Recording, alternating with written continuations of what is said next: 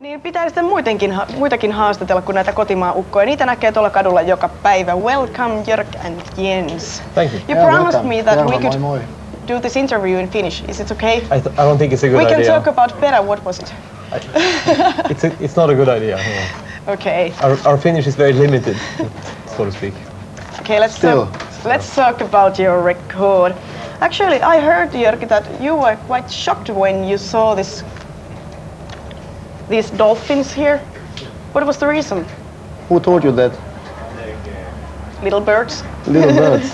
um, I wouldn't call it shocked, you know. You know, my evil little metal heart, you know, seeing the dolphins jumping around on that Especially cover. this little one here. Yeah, the But, baby. uh, That's No, like a I baby mean- dolphin, you know. Stratovarius never have been used to uh, do all this blood slaughter, warrior, super image on their covers, you know. Actually, I was more shocked seeing the Destiny cover the first time Who was that?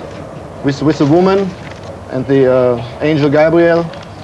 And uh, nowadays, you know, I think it's one of my favorites actually. I like the Destiny cover so much. So when I saw this the first time, I had to smoke a cigarette and let it sink down a bit. But now I like it very, very much, especially when Timo Tolkki explained me what he actually uh, meant with it. I think it's a very, very, very good idea. And the first time I saw it, it was half ready. It was not like that. Okay. So we have now this evil bit here with the oil and And now you're so satisfied with I'm a little bit more. Okay.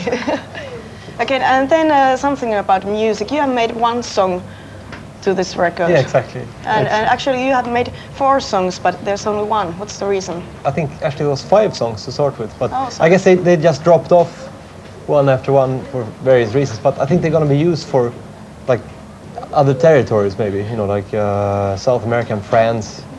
We're going to use a couple, and I think also on this bonus CD, which is on this in this box here. It seems like one of them ended up on that too. I mean, Okay. I don't really know what happens. I just write them, and then whatever happens, happens. You know, you have to. Uh, anyway, almost all of these songs are made by Timo Tolkki. So, do you think that uh, Timo has a clue what you're doing in your future and especially now in your music? If he think so, thinks yeah. about the future already, is that the question? I don't think that he knows already what he is writing on the next record, but I mean Stratovarius is his band.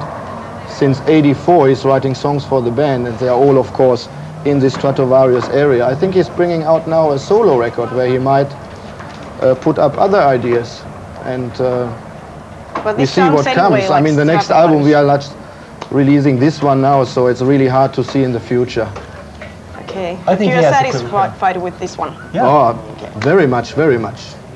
Yeah, yeah, very much. I mean, the whole band is very satisfied. I mean, since we are in the band, like since episode, it's 95 or 96, you know. I think all are great records. I even loved Stratovarius before, like on Dreamspace, one of my favorite albums. It's very old already.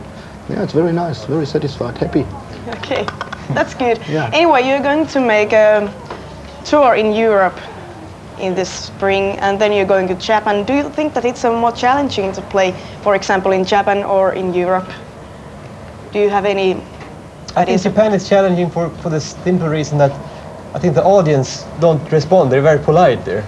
So you, you have, uh, it's harder to, to uh, have an indication of what they actually think because they just clap for a few seconds and then they're like waiting for the next thing to happen. So I think European audiences are more boisterous, so to speak.